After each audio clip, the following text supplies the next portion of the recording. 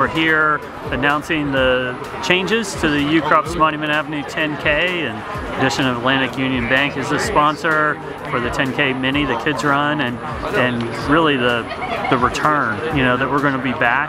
Uh, we unveiled our new medal that Hamilton Glass designed and he also designed our race shirts so some people saw that for the first time and and so really just uh, announcing that we're back.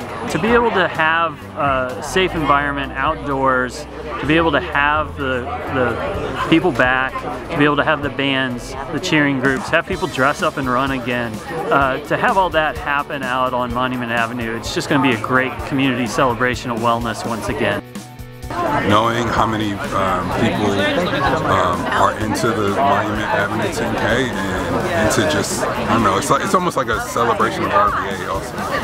So I was excited to do that. I mean, I think it's all just about unity in general. And so um, doing something that promotes diversity and unity and bringing us all together is what this is about. And the Monument Avenue 10K has been doing that for a long time.